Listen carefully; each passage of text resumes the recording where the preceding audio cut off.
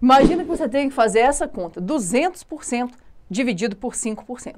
Não inventa moda que não, tá? Não vai transformar em fração, centesimal, nada disso. Faz o simples. Você vai cancelar esse símbolo com esse.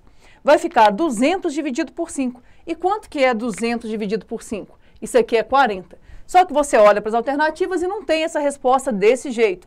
Por que que não? Porque quem elaborou a questão quis dar a resposta em porcentagem.